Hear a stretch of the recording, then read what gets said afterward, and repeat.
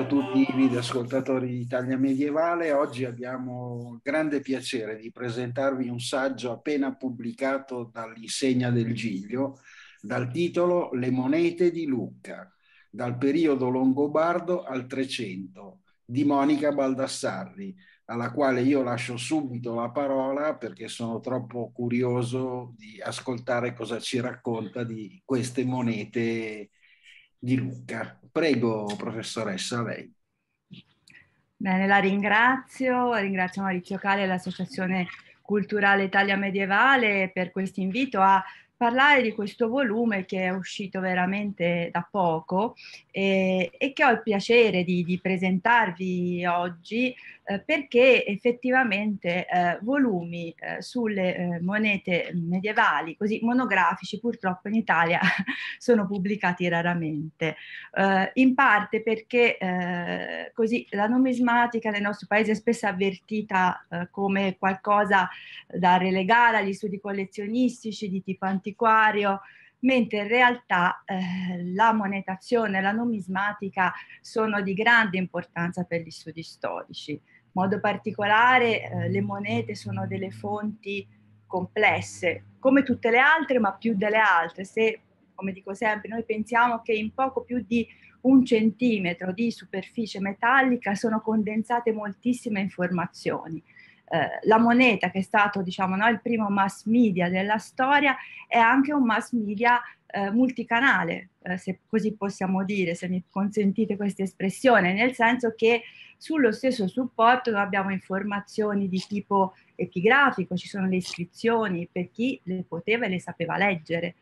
Poi ci sono le immagini, eh, un potente veicolo eh, dal punto di vista iconografico. E poi c'è la materialità della moneta, quella per la quale forse noi la consideriamo di più il, il valore no, dal punto di vista del contenuto metallico, perché a differenza delle monete che noi usiamo oggi, nel passato le monete avevano un valore intrinseco, erano eh, realizzate in metalli che avevano un valore economico di mercato diverso a seconda del, ovviamente il, proprio del metallo con cui erano realizzate, il rame, l'argento o l'oro.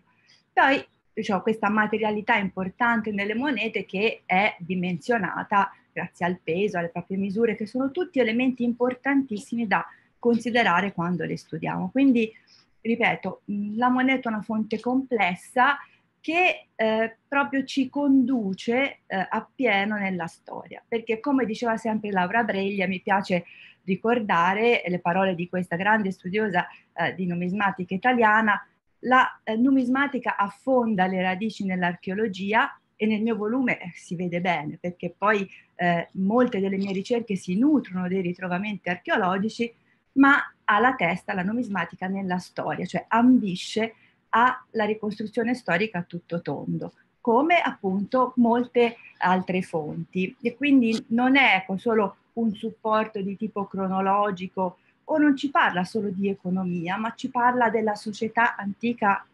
in tutti i sensi, anche quello politico, culturale. E allora, ecco, un libro come questo sulle monete di Lucca ambisce in qualche modo, se volete, a eh, studiare la moneta in questo senso, a dare degli strumenti, delle nuove chiavi anche magari di lettura storica perché un libro sulle monete di Lucca. Ecco, magari questa è una cosa che eh, potrebbe eh, interessarvi. Un libro sulle monete di Lucca, eh, perché Lucca, eh, per chi non la conosce, è stata una delle zecche eh, più antiche della nostra penisola e anche una delle più longeve. Eh, inizia proprio le sue attività, almeno in modo accertato, nel periodo longobardo e le conclude solo ovviamente quando si esaurisce la storia diciamo, della Repubblica di Lucca, quindi nel XIX secolo. Eh, molti pensano che magari la zecca più rilevante dell'Italia centrale eh, sia stata Firenze per la storia che ha avuto, in realtà se si guarda bene, ecco, Lucca ha una storia ancora più, più antica e per una buona parte del Medioevo più importante della, della zecca e delle monete di Firenze. Eh, ma non è solo per la rilevanza eh, de- della storia della zecca e delle monete di Lucca che eh, mi sono spinta in questo studio, nella scrittura di questo volume, ma anche perché ehm, effettivamente eh, quando mi ero imbattuta in passato nello studio delle monete lucchesi, che ho già approfondito poi delle ricerche sulle monete di Pisa da un lato, di Genova dall'altro, Lucca è al centro eh, di quest'area anche geografica altotirrenica, quando eh, avevo un po' studiato le monete di Lucca mi ero resa conto che c'erano ancora molti problemi aperti, alcuni nodi non sciolti e quindi eh, mi sono detta, beh, forse è il momento di, di affrontarli, soprattutto per una realtà ehm, politica ed economica così rilevante come è stata Lucca eh, nel Medioevo toscano ed italiano. E, e questo chiaramente era possibile farlo solo secondo me con un lavoro sistematico, cioè proprio di revisione delle fonti numismatiche ma anche scritte archeologiche e a partire dall'inizio della storia della monetazione lucchese, quindi proprio dal periodo longobardo. Ecco perché eh, questo primo volume chiaramente non percorro tutta la storia della produzione della monetazione lucchese, ma eh, mi sono concentrata proprio nel primo periodo produttivo fino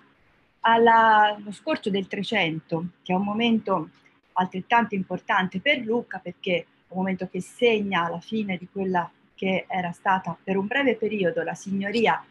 eh, proprio di Pisa, della città, eh, sulla città di Lucca, e la riacquisizione della libertà con l'inizio di un nuovo periodo, diciamo così, repubblicano. Quindi ho scelto questo lasso cronologico perché mi consentiva poi in realtà di gettare un nuovo sguardo sul Medioevo, che poi è uno degli interessi, eh, diciamo così, principali no? anche del, del, nostro incontro.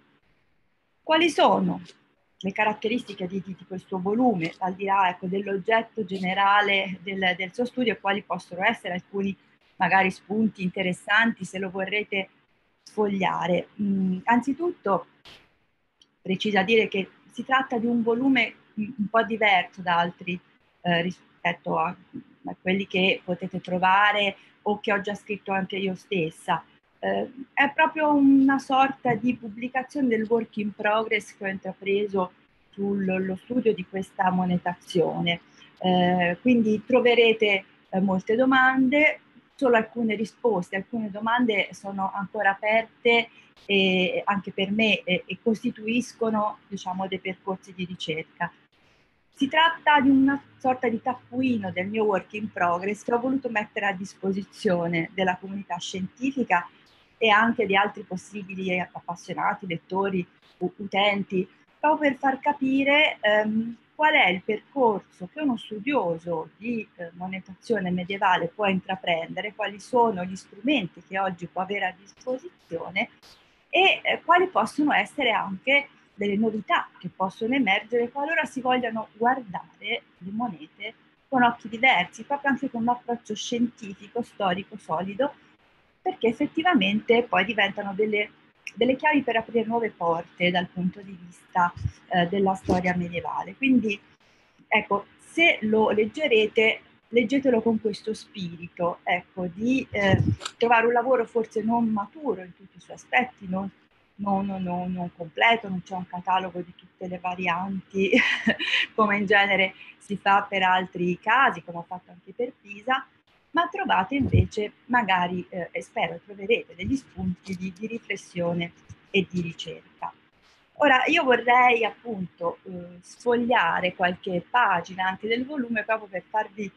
capire qual è la struttura e anche raccontarvi qualcosa, qualche aspetto, approfondire qualche eh, annotazione eh, che potrebbe magari interessarvi e quindi eh, condivido eh, il mio schermo in modo che voi possiate magari vedere le pagine del, del volume. Eh, state vedendo? Chiedo un riscontro a Maurizio Cali. Sì. Perfetto. Adesso sì. Ecco. Allora, eh, anzitutto, ecco, come vedete, eh, questo eh, volume è stato pubblicato per i tipi dell'insegna del Giglio e questo proprio con la precisa volontà anche di uscire un po' dal solito circuito oh, degli eh, studi studiosi, degli appassionati di numismatica, non perché questi non siano importanti, anzi eh, spero che apprezzino questo lavoro, ma perché volevamo anche che questo uh, libro circolasse tra uh, gli appassionati di, di, storia e non solo, quindi non solo diciamo, gli addetti ai lavori eh, o chi, conosco, chi conosce già le, le, monete di Lucca, ma anche coloro che magari eh, affrontano per la prima volta eh, la lettura o lo studio eh, di questo tipo di, di, di, fonti, di questo tipo di ricostruzione storica eh, legata alla storia monetaria. Eh, vi dicevo appunto che eh, tra i motivi che mi hanno spinto a realizzare questo volume mh, c'era da un lato una lunga tradizione di, di studi, soprattutto setto-ottocentesca, ma anche recente per alcuni periodi storici, ehm, ma moltissimi eh, nodi eh, ancora eh, da, da, da, sciogliere. È per questo appunto che eh, ho provato eh, a dare le mie risposte, che ovviamente no, non sono come non sono le risposte di nessuno vere assolute, ma sono delle, delle, risposte, se volete, provvisorie che ho cercato di dare in base a quello che ho potuto raccogliere in questo momento. La struttura del volume, eh, la vedete qui, è abbastanza semplice, è composto da cinque capitoli più delle appendici, il primo capitolo eh, è proprio dedicato all'illustrazione della, della, tradizione degli studi. E questo perché? Proprio perché mh, quando ci si accinge a effettuare un nuovo lavoro di ricerca, ovviamente eh, la prima cosa da fare è eh, cercare di capire cosa è stato fatto in precedenza, eh, eh cosa è stato detto, cosa è stato scritto. E quindi mi sembrava giusto eh, che eh, i lettori eh, vedessero qual era il lungo percorso di studi intrapreso dalla ricerca storica e non solo rispetto alla monetazione lucchese e già qui emergessero in questo capitolo alcuni degli aspetti che poi saranno resi approfonditi eh, nei capitoli eh, seguenti. In modo particolare eh, una prima parte del primo capitolo è dedicata agli studi eruditi che eh, per Luca cominciano da, dal 600, ma che ovviamente nel 7 e 800 trovano poi un punto massimo di, di sviluppo con la realizzazione anche no, nel, nell'Ottocento già delle prime monografie eh, dedicate alla zecca di Lucca, con tutti i pregi, immaginate, i difetti della produzione storica di quel momento. Chiaramente eh, molte monete non erano state magari lette correttamente, ma eh, la, la, cosa importante è che già eh, a quel momento si cerca di coniugare la, lo studio delle monete con la ricerca eh,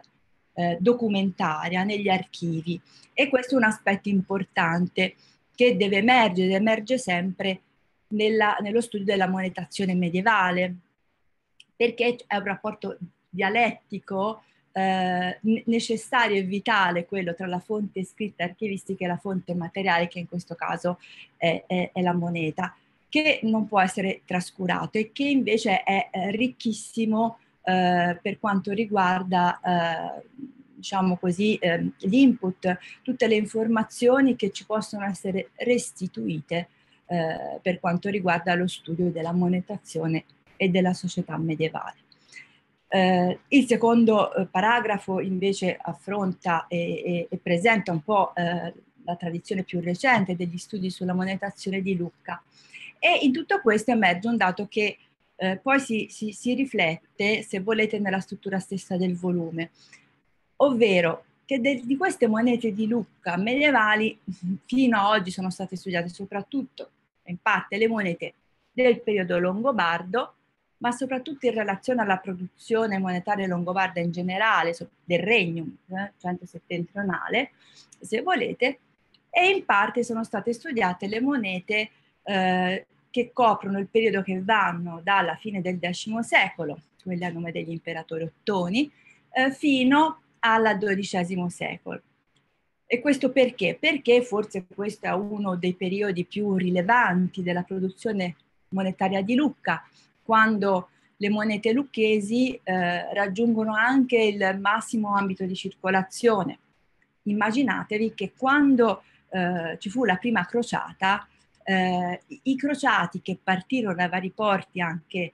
italiani, che però erano di moltissime nazionalità diverse, portarono in Medio Oriente solo alcune monete e l'unica moneta italiana eh, che, che, è giunta negli stati latini d'Oriente con i crociati è stata la moneta lucchese, il denaro lucchese.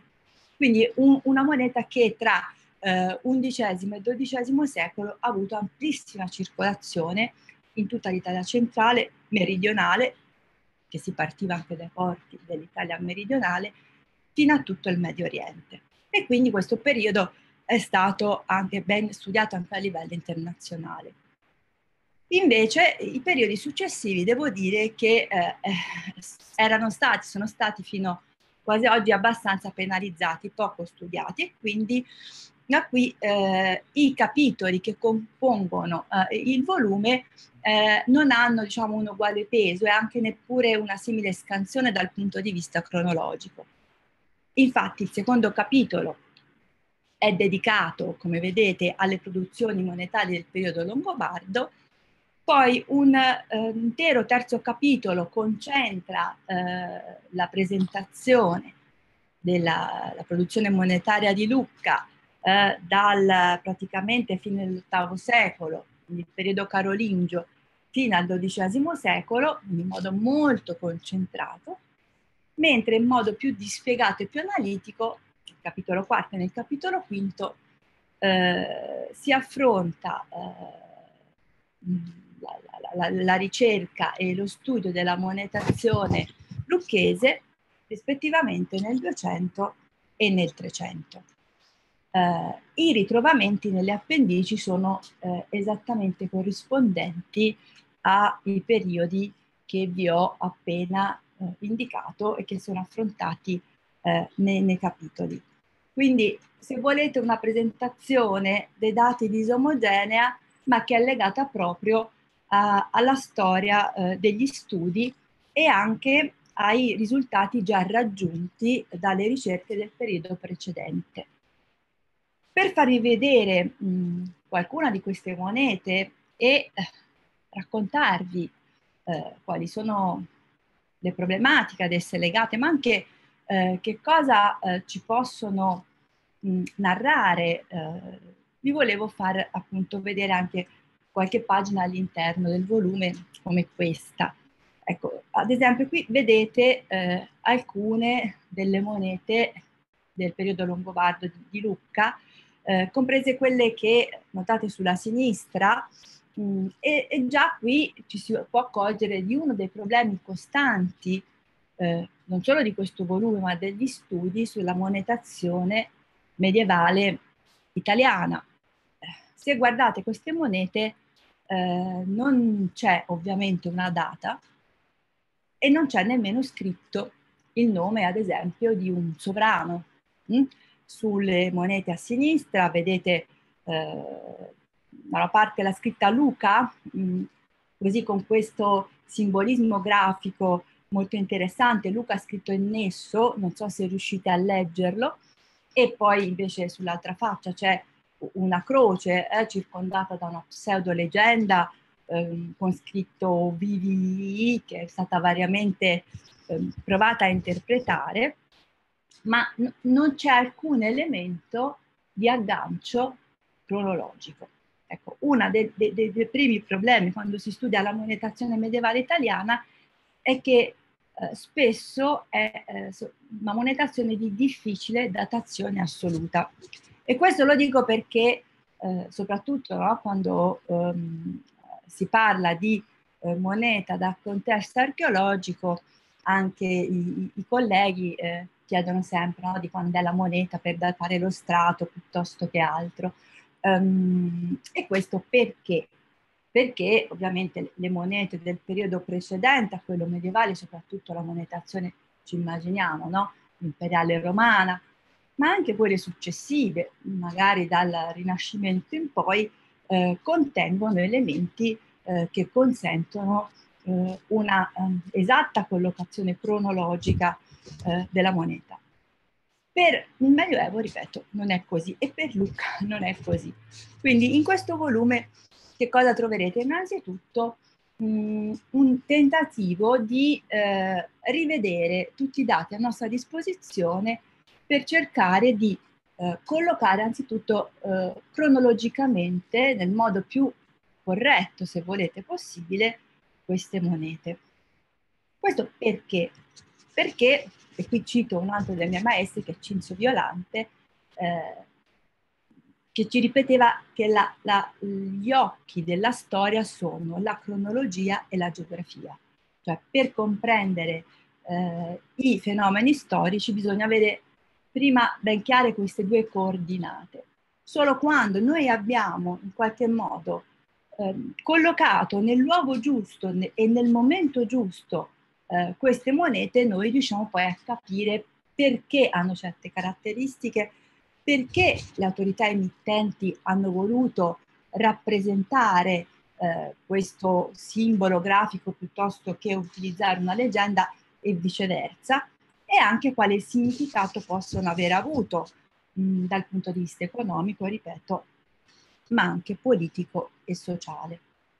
Quindi queste monete, per esempio, di, di, di Lucca, eh, sempre col monogramma e con la croce, sono originalissime. Non ci sono altre monete nel regno longobardo che hanno queste caratteristiche e a lungo hanno rappresentato e rappresentano tuttora ehm, una sorta di piccolo rebus eh, per gli storici della moneta. Eh, pensate che eh, gli eruditi antiquari addirittura le avevano eh, così ipotizzate, collocate qualcuno anche nel periodo goto, ehm, altri in tempi più recenti, proprio perché sono così originali, diverse, rappresentate con tante varianti di conio diverso, cioè vedete no? anche la figura 3 e la figura 4, le due monete si somigliano ma sono diverse no? tra di loro. Ecco, per questo motivo, per esempio, eh, Belloni aveva ipotizzato addirittura che queste fossero tutte dei falsi ottocenteschi, mh? mentre adesso qualche esemplare anche eh, dalla Corsica eh, è stato rinvenuto in tempi recenti e sappiamo che non è così. Eh, ecco, queste monete eh, sono molto interessanti perché rappresentano una produzione originale della zecca di Lucca, questa zecca di Tuscia, rispetto a tutto il panorama del Regnum. E collocarle come facciamo oggi tra la fine del VII e gli inizi dell'VIII secolo, dopo le riforme di Cuniperto, della monetazione in altre parti del Regnum, può aiutarci magari a capire perché mh, queste monete sono state fatte in questo modo proprio a Lucca in quel momento, anche se è chiaro che per l'Alto Medioevo, con delle fonti anche scritte piuttosto rarefatte, mh, abbiamo ancora delle difficoltà a spiegare moltissime cose. Le monete che vedete sulla destra sono invece monete eh, successive, sempre di Lucca, ancora anonime, che però sono importanti perché eh, se vedete cosa succede dopo, eh, a partire da Stolfo, Desiderio, addirittura poi Carlo Magno, adottarono questo tipo con la stella, le cosiddette monete Flavio, tre missi stellati di questo tipo, non solo per Lucca, e queste monete quindi le possiamo collocare cronologicamente, ma solo queste tre emissioni, ma anche per altre monete del, del regno eh, dell'Italia settentrionale, della zona delle zecche, della zona transappenninica. Quindi ripercorrendo un po' la storia delle monete, per esempio di Lucca nel periodo longobardo, eh, si notano queste originalità che poi diventano magari fonte di ispirazione, e anche qui bisogna capire il perché, dei sovrani longobardi per le loro ultime missioni monetali in tutto il regno centro-settentrionale. Eh, nel volume non si affrontano solo questi aspetti cronologici, ma anche gli aspetti più comuni, se volete, quelli circolatori, cioè cercare di capire queste monete eh, dove sono state ritrovate, che tipo di impiego e di circolazione hanno avuto e quindi troverete delle eh, cartine, eh, oltre che un elenco dei ritrovamenti, mh, mm, che eh, appunto è in appendice, che servono a visualizzare un po' eh, gli ambiti di, di circolazione eh, di, di questi mezzi monetari. Una cosa interessante, se vedete per esempio la cartina eh, che eh, vi sto proiettando sullo schermo, è il fatto che eh, queste monete longobarde eh, sono state trovate di Lucca ovviamente in buona quantità, eh, soprattutto come notate in Sardegna. Mm? E quindi eh, di recente vi ho detto ci sono anche dei ritrovamenti dalla Corsica. Eh, bisogna capire mh, mm, come ci sono arrivate, ma in moltissimi casi si tratta di ritrovamenti da tombe, quindi di monete che circolavano eh, probabilmente eh, autonomamente tramite eh, mercanti o chi riusciva ancora a solcare i mari del Tirreno in questo periodo, ma che viaggiavano spesso proprio con i Longobardi, che dai porti della Tuscia, verosimilmente eh, dagli approdi di Pisa, che dovevano essere rimasti attivi, e solo successivamente, forse anche di Luni, potevano prendere il mare per raggiungere queste, queste isole altotirreniche. Quindi aspetti anche importanti per la ricostruzione della storia del periodo longobardo in cui fino a pochi decenni fa no, si, si, si, credeva che magari i longobardi per mare non ci fossero quasi mai andati e in cui emerge sempre di più invece um, una loro capacità eh, di utilizzare anche il mare proprio per estendere eh, in qualche modo sulle isole prospicenti alla Tuscia eh, il loro controllo anche dal punto di vista terriero, fondiario. Mh? Mm? E le monete in questo senso danno un loro contributo importante. Per il periodo successivo troverete ecco, un po' eh, l'evoluzione eh, della monetazione ehm, di, di, Lucca dal periodo carolingio, dicevo, fino al XII secolo, sulla quale no, no, non mi soffermo ora, ma mh, vi volevo far notare proprio come queste monete di Lucca, eh, per esempio, vedete sulla sinistra dal periodo di Enrico III fino a Enrico V, rimangono piuttosto simili a se stesse dal punto di vista di quello che c'è scritto, c'è questa grande H, no? con scritto imperatore intorno e poi Luca in croce sul rovescio, semplicemente si imbruttiscono, se volete, dal punto di vista estetico, sono ancora sempre più difficili da leggere e quindi questo ha costituito spesso e costituisce tutt'oggi un po' una sfida per chi studia eh, queste, queste monete. Dal punto di vista economico, che cosa ci, dice questo? Che Lucca, come altre monete medievali, ehm, a un certo punto immobilizza i propri tipi, cioè che cosa fa? Eh, dice questo è il mio segno, io garantisco la mia moneta con questo segno e per fidelizzare, se volete, il pubblico al proprio logo, al proprio segno, non cambia mai quello che c'è scritto sulla moneta. Ed è per questo che le monete di Lucca e di molte altre zecche medievali sono ancora più difficili da datare perché c'è sempre scritta la stessa cosa. Quello che cambia cos'è? È il contenuto metallico. Tende col tempo Lucca, come altri zecche, a mettere sempre meno argento nelle proprie monete e poi, come vedete, anche la tecnica di coniazione si fa un po' più veloce, più brutale, no? Eh, nel denaro che vedete in basso, a figura 16, vedete il tondello non è più nemmeno circolare, la moneta è fatta a quadratini, eh, ci si danno delle martellate sopra per arrotondarlo un po', questi segni che vedete disturbano la lettura del conio e poi ci si imprime la, la, la H malamente e la si mette in circolazione. Ecco, studiare un po' le caratteristiche delle monete in questo senso ci fa capire come stava andando anche l'economia monetaria. Cioè tra X e XII secolo si vede che per esempio cresce la domanda di moneta,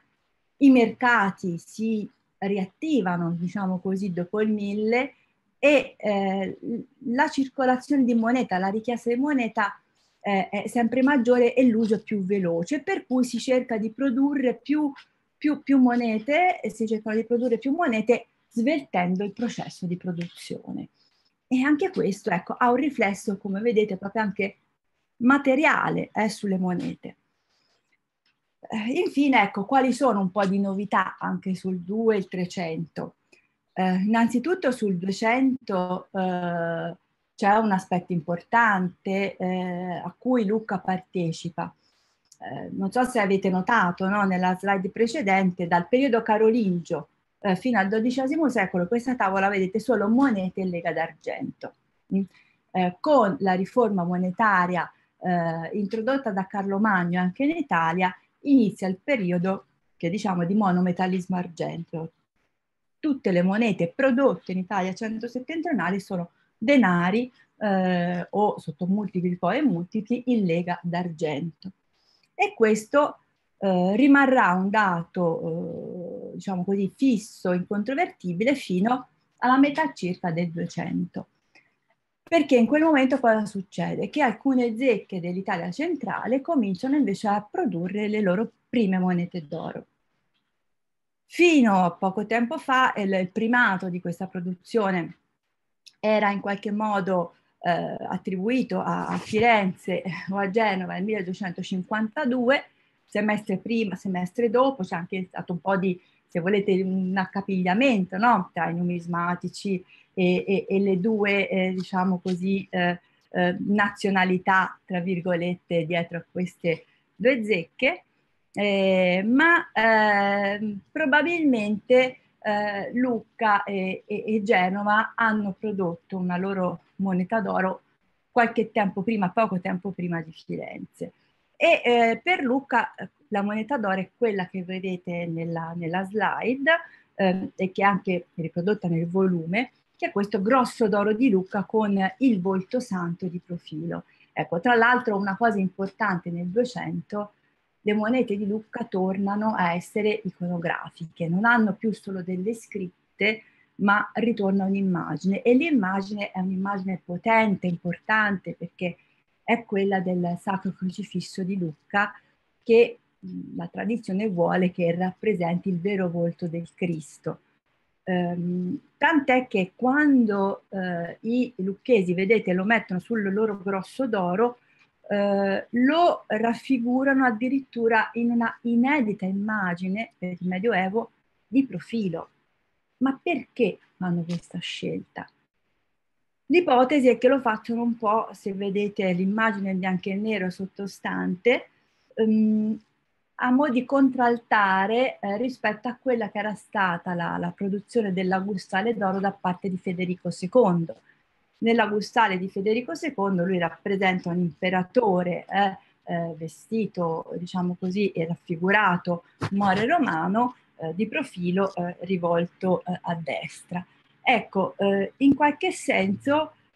i lucchesi quando producono la loro prima moneta d'oro, che era una prerogativa imperiale, quindi eh, diciamo fanno una dichiarazione della loro proprio raggiunta autonomia anche politica rispetto all'imperatore, ci mettono sopra il volto santo per dire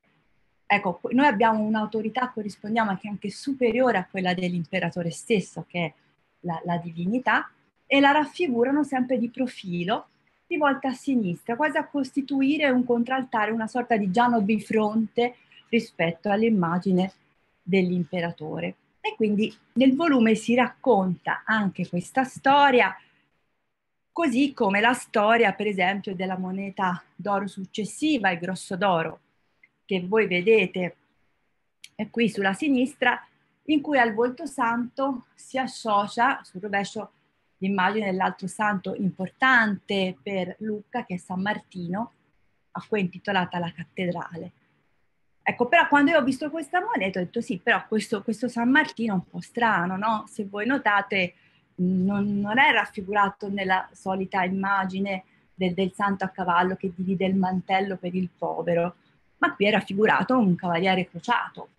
con la sua cotta di maglia, il suo stendardo, il suo vessillo e il suo scudo con la, con la croce. Ecco, allora questo elemento per esempio nel, nel volume mi ha consentito di cercare di, di, di, di capire il perché quando viene prodotta questa moneta, che io leggo al 1269, il momento in cui Carlo d'Angiò è eh, nominato podestà di Lucca, di Firenze e il capo in qualche modo del movimento guelfo in Tuscia, ehm, tant'è che anche nella monetazione dell'Italia meridionale, proprio nello stesso periodo in cui appunto anche lì è presente Carlo D'Angiò, vedete viene raffigurato eh, un, un, cavaliere, ehm, anche lì eh, raffigurazione proprio inedita sulla monetazione sui tarì dell'Italia meridionale. E quindi, ecco, elementi di questo tipo sulle monete, come vedete, vanno oltre gli aspetti economici e ci parlano direttamente, no? invece della, de, de, della politica, della, della, cultura, di quello che in qualche modo eh, le autorità eh, lucchesi eh, volevano comunicare attraverso le, le, loro monete, che poi bisogna vedere come venivano eh, recepite. Eh, infine, per quanto riguarda il 300, troverete anche lì mh, diverse novità legate non solo all'aspetto iconografico, ma proprio uh, allo studio delle produzioni monetali.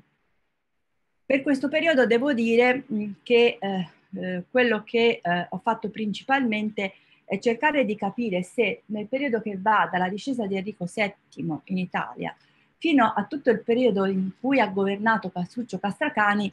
effettivamente non c'era stata quasi produzione monetale come voleva la tradizione di studi.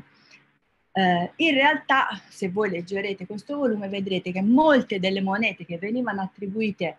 al periodo successivo a Castruccio Castracani soprattutto al periodo della signoria di, di Pisa su Lucca, che va dal 1342 al 1369, ehm, ecco, secondo me molte invece sono proprio del periodo di Castruccio Castracani.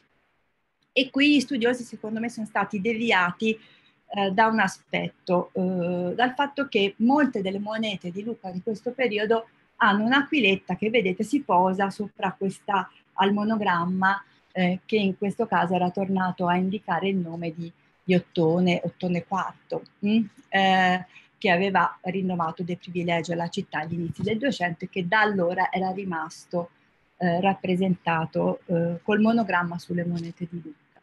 Ecco, il fatto che ci fosse l'aquila, che era un'aquila ghibellina e che era diventata dal 200 uno dei segni principali delle monete di Pisa, ha fatto attribuire tutte queste monete alla signoria di Pisa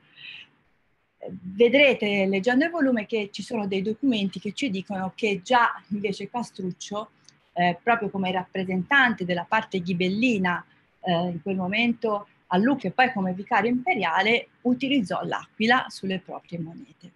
E c'è anche un bellissimo documento in cui proprio i, le autorità di, di Lucca sotto Castruccio fanno dai pisani, fanno vedere le tavolette gissate con la raffigurazione di queste monete che viene descritta una cosa rarissima per gli inizi del 300 e ci dicono che c'è l'aquila su queste monete. Quindi a partire da questi documenti, rivedendo la forma delle lettere delle monete, dei punzoni, qui è uno studio tecnico, numismatico, ma che è vitale per ristabilire le cronologie di queste monete, ho potuto quindi ricostruire una nuova storia delle missioni lucchesi nel 300, che danno anche più giustizia alla figura di Castruccio Castracani, che con la politica militare intrapresa, con anche le sue conoscenze dal punto di vista monetario, visto che veniva una famiglia di banchieri, non era possibile che non avesse emesso che pochi spiccioli, come si diceva in precedenza. E quindi anche qui le monete sono diventate un elemento importante di revisione di un momento storico. Quindi io qui concludo perché penso di avervi eh, anche abbastanza e soprattutto in realtà vorrei che eh, sfogliaste eh, questo volume eh, per eh, apprezzarne e capirne un po' gli aspetti di, di, di dettaglio, che però ecco non sono mai fini a se stessi, ma devono sempre servire per capire meglio questo periodo storico, la realtà di Lucca, nel Medioevo eh, come appunto una fonte storica a tutto tondo. Beh, direi molto interessante, davvero molto interessante, un libro da correre subito ad acquistare perché eh, affronta un, un argomento che non è così usuale come probabilmente lo erano le monete, no? Perché la moneta è qualcosa che continua nei tempo e, e giunge fino a noi, anche se oggi sono completamente diverse, ma eh, rappresenta la quotidianità, rappresenta gli scambi, i mercati, i commerci, i traffici e racconta la storia del periodo in cui circola. E quindi veramente un libro da, da comprare e quindi io ricordo assolutamente il titolo, è Le monete di Lucca dal periodo longobardo al 300, pubblicato dall'edizione Insegna del Giglio da pochissimo e l'autrice Monica Baldassarri che è stata con noi in questa videopresentazione e sarebbe bello riuscire a farne una in presenza da qualche parte, magari anche con proiezioni di immagini, perché è, è molto affascinante. No? E, mi,